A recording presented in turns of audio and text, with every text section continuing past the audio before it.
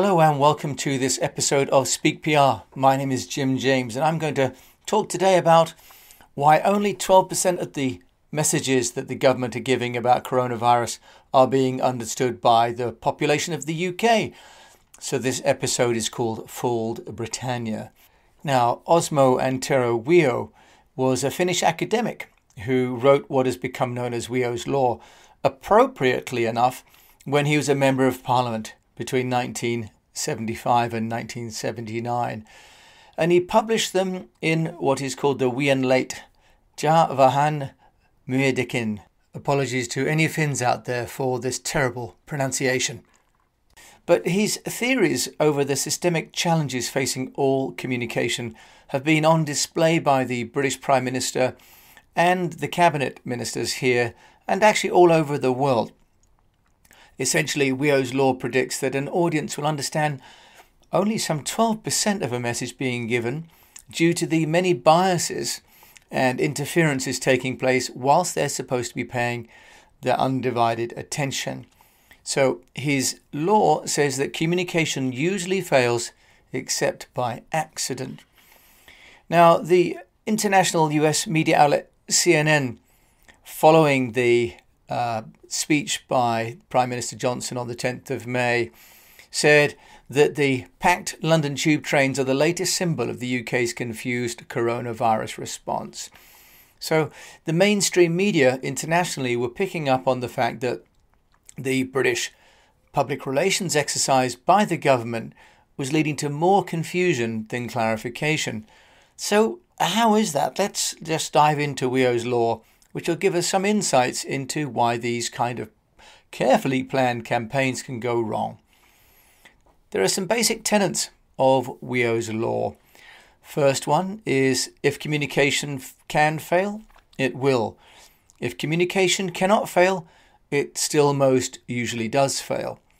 If communication seems to exceed in the intended way, there's been a misunderstanding. If you're content with your message, communication certainly fails. Point number two if a message can be interpreted in several ways, it will be interpreted in a manner that maximizes the damage. Point number three there is always someone who knows better than you what you meant with your message. Number four, the more we communicate, the worse communication succeeds. 4.1 The more we communicate, the faster misunderstandings propagate. Number five, in mass communication, the important thing is not how things are, but how they seem to be. Number six, the importance of a news item is inversely proportional to the square of the distance. In other words, the further away we are, the less important that news is to us. And number seven, the more important the situation, the more probably you forgot an essential thing that you remembered a moment ago. I'll repeat that. The more important the situation is, the more probably you forget an essential thing that you remembered a moment ago. So now let's just address the first law. The reasons communications fail are due to multiple causes, and the problem is that they are not static but dynamic and are also not the same for everyone. Let's just take one of the biggest ones how we speak to one another language is not universally held to mean the same thing by different people in spite of standardization. In addition to idioms due to regional dialects, there are the associations and the context which certain words have. Now, when I heard the new strapline in the UK, Stay Alert, I was thinking of the bomb alerts on the underground and the old school boy joke, Be alert, the country needs more alerts. Others would have had other associations. The central issue is that Stay Alert does not have a universal meaning for the entire audience that the Prime Minister has been addressing. But it also doesn't tell us to be alert in what way or where or when. It's too generic to be functional. So they're attempting to be generic for everybody, but their lack of specificity meant that it really wasn't a valuable message to anybody. Now, within hours, laws 2 and 3 were going into effect in uh, May the 10th after the Prime Minister had spoken. And laws 2 and 3, just to remind you, were that if a message can be interpreted in several ways. It'll be interpreted in a manner that maximizes the damage. And the third is that there's always someone who knows better than you what you meant with your message. So, within hours of the government's announcement about lockdown measures, there were critics and commentators who created memes on the internet, shared snippets of the presentations on social media, but as sound bites. And they made the 13 minute address into this smorgasbord of different anecdotes and observations. Now, those who watched the Prime Minister's address went on to explain it to the others but as they did that, the message became more corrupted as the ambiguity of the message led to reinterpretation by those commentators. Now, with social media, 4.1, the law about the, the amplification, without filtration or consideration.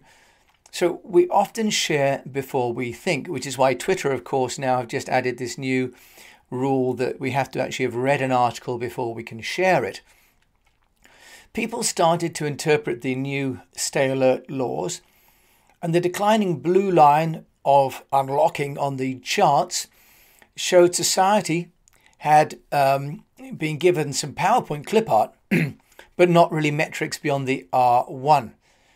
So, if we were in favour of more exercise in public and games with the family member, we shared those parts of the message. But if we were not in favour of more exercise, or if we didn't have a family and we were not interested in the family games, then we wouldn't have shared those key parts of the message. Now, according to the Business Insider, a UK newspaper, the UK government's attempts to loosen the coronavirus lockdown were thrown into chaos after the senior member of Boris Johnson's government completely contradicted the new rules outlined by the Prime Minister. This is rule law number four, where somebody else will reinterpret what they thought they'd heard. Now, rule five is that in mass communications, the important thing is not how things are, but how they seem to be. And I'll raise my own personal observations here. Firstly, during the presentation, Boris Johnson was alone in Mansion House, and it seemed as though he's still in isolation but in very nice surroundings, unlike most people but also that he kept on clenching his fists. Now, according to the Language Project, in one sentence, clenching the hands or balling them in a fist is a sign of repressed aggression. So, if so, who is the Prime Minister having aggression towards?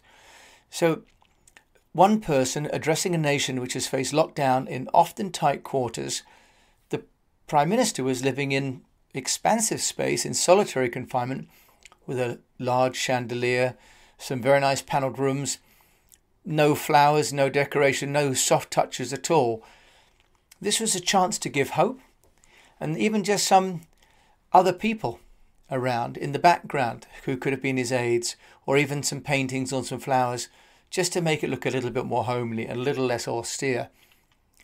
So how was the Prime Minister showing that he was alert or in tune with the reality of those people watching, often in uncomfortable surroundings in lockdown? So, the graphics that the British government have been using to communicate about the lockdown have been childlike at best. And with homeschooling prevalent, I had wondered if someone had taken advantage of their children's ability to use PowerPoint to create them. Now, this is a nation, the British one, which leads the world in creativity, education, and technology. And all we've managed to have is a simple R1 formula, which I appreciate is supposed to be simple so that everyone can understand it, but is to the degree almost so simple as to have no complexity at all. The COVID alert level is R, which is the rate of infection, plus the number of infections. So, the, simplicity of the message as there are about real statistics and real testing, infection, and the progress of the spike. Now, we didn't get any of those kind of numbers and statistics in the government presentations, but it would have been useful to do so. There was a large, almost sort of humpback whale style diagram showing an up and then a long glide down with different steps of opening up. But the measures didn't have any any scales. There was no real time and no real number. So the opportunity to educate and to inform and to reassure the population has been missed. Now, law number six means that the smaller objects about to hit us are more important if they're close by than the more important ones that might be further away. So, this is this idea of the inverse proportion of distance to importance. So, this is why the key rules about lockdown and how they impact individuals are the most important to everybody because those are the immediate actions and the repercussions that we're all thinking about. So, this is where the current lack of clarity has always been the most distressing because these are the nearest points that are dear and important to us all. So, we can go to work, we can return the children to school, but not all of them. Can we go to restaurants and gyms? But there's a two meter rule for some. Some people can go to certain places to eat, and some people cannot. And now there's a new rule where if you're a single person, you can go at another person's house to socialize, but you can't if you're a couple. So the stay alert message was not really what people needed to hear. We, of course, we're all going to stay alert. We're not going to be careless about our health or that of the health of our loved ones. But under what circumstances should precautions be taken? Now, having made a, a stern threat about increased fines for violation, the Prime Minister then made it unclear what those violations would be. And as we saw then from the case of Dominic Cummings, the special counsellor to the Prime Minister, who then took trips uh, back home to Durham, uh, and there was no ramifications at all, the conversations now really are the one if you have to go on a visit somewhere that you just do a Dominic, Dominic Cummings. So, in my desire to find the answers in the 13 minute speech to camera, I certainly fell foul of rule number seven. And just to remind you of Wiio's law number seven, the more important the situation is, the more probably you forget an essential thing that you remembered a moment ago. The charts that were used to illustrate the nature of the issue said we must have a world beating system with fists clenched firmly on the desk, but they didn't state how much money is being invested nor the actual testing statistics. Now, what we know is that the IT system that was announced in May that will be ready vaguely, the Prime Minister said, in time, we've learned this weekend the technology that they deployed wasn't compatible with Android and with iOS. So the system that was announced in May has been tried on the Isle of Wight and has not succeeded. It's a small note that the Prime Minister's speech was 13 minutes and 41 seconds long. 13 minutes is an unlucky number in societies in the West, and they could have maybe drawn it to 18 minutes, which, at least for audiences uh, from Asia, would have been beneficial because eight is, of course, considered a lucky number. So, how do these messages that we're getting from the government as we go back to work and the children start to go back to school of stay alert, how do they conform to our East West PR mindset approach, which I outline in one of our articles on our website called The Viral PR Mindset? In there, I say that we should be compassionate, optimistic, values based, informative, and digital. Compassionate Yes, we got the empathy, although certainly the tie and the chandeliers and the other uh, formalities of the government presentations so far on a Sunday evening haven't made us feel at home or resonating with the government. Have they been optimistic? Well, we'll beat this at some ill defined time in the future with unknown resources being applied. It doesn't give a lot of reassurance. Is it values based? Well, there was respect for sacrifices but not really a call to arms, more a threat to people who uh, don't follow up with the rules, which, of course, then, as we've seen with Dominic Cummings, weren't respected. The remedial graphics and the no mentions of masks and the new task force meant that for me, the Prime Minister's messaging so far has not been as informative as, for example, some retailers have been. Now, the digital component, which is the new app, um, of course, has come and gone uh, and there's no mention of when the new one will arrive. There hasn't been mention of using the kind of heat sensors that they use in China, for example, and Singapore. So now let's just turn our mind to why those messages will be misunderstood by the general population that are tuning in and listening to the Prime Minister. In a statistical model explained to me by Professor and fellow Finn Jukka Korpela, while the messenger may have the best of intentions, it's the recipients who will determine the effectiveness of a message being communicated to them. And he explains why. And these are the fundamental reasons why Wiio's law comes to effect. Because there are a list of reasons how and why people will interpret a message to suit their own paradigm. They include their physical and emotional biases, their language, their cultural background, their age, their gender, their race, their health, the time of day they're listening to this, their anxiety levels, their, their perceived bias, fatigue, hearing loss, medication, intoxication, just simply not paying attention. Mr. Korpela, who is formerly at the Helsinki University of Technology, and I have been in correspondence, and what he has said to me is to clarify that a single misunderstanding in any essential area destroys the message. So if you know the arithmetics, you can see the odds are really against you. In their original calculation, they talk about there being 20 variables, and that gives a figure of just 12% of the message being understood. So we have a case where billions of Britons haven't understood the message, but most of us have certainly not understood all of the message.